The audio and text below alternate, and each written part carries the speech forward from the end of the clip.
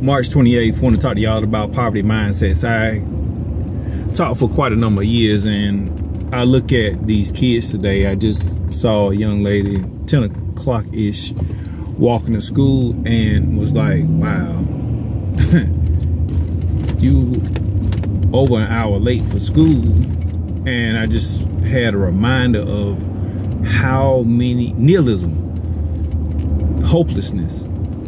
And I just look at the desire to have nothing to do, wanting everything with an entitlement mentality, no real desire to work for it, but a desire to get into other things. I am filling my body with And- divine love and light.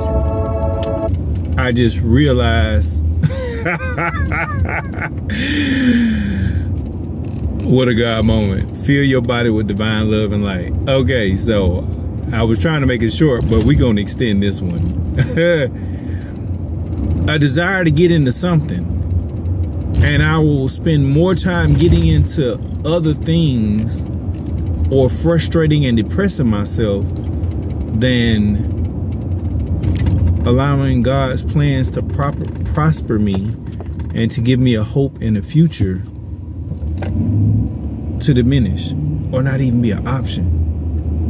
And we create these generational curses from being depressed, being frustrated, recycling the crap of life.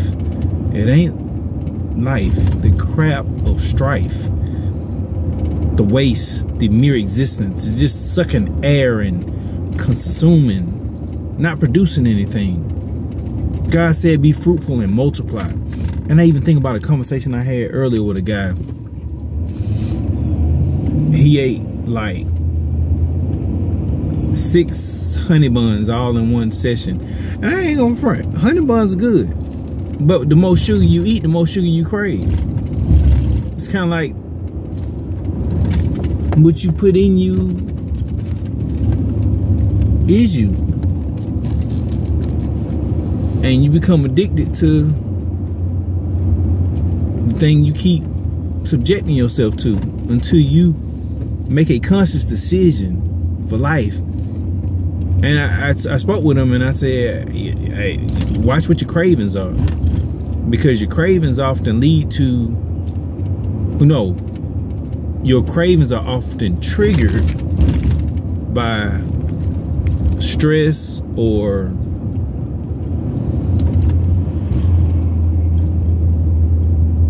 some void.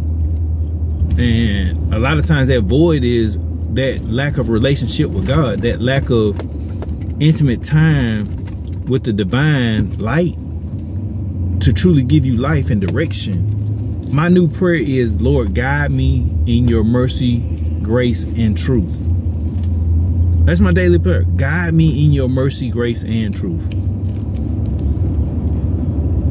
And your true love I want that so in me that that's what I attract. That's a prosperity mind. I pray for divine relationships. Relationships that I couldn't create on my own. I recognize that I can't do what I do by myself anymore. I, I can't, I can't. I'm just evolving to recognize the safety of interdependence with the right people, with the right relationships, and making sure that my first relationship with God stays first. That I don't make idolatry out of a woman, out of a job, out of my kids, out of anything. God is number one. So that void that we or even sometimes that void of I haven't done what I'm supposed to do, that thing that God is telling me to do, that purpose, that fulfillment. We have a lot that we can accomplish, and we have a choice to make it happen, or just sitting around and being more depressed because we didn't make a change or a chance. Oh, so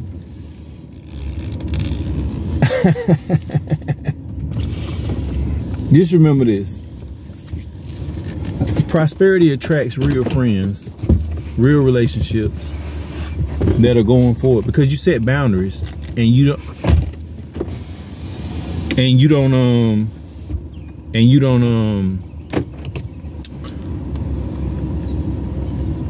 you don't allow um negativity to override in stupidity and lack of prosperity in the relationship meaning I'm not gonna let you take advantage of my situation. I'm not gonna allow us to not be friends through pride. I'm all over the place. Be fruitful and multiply. Don't allow depression to create unnecessary battles when the victory is yours because Jesus did die for you and the battle is in your mind and you have to remind yourself of what God promised for you. Y'all have a good day. Stop being so broken that you can't prosper and multiply.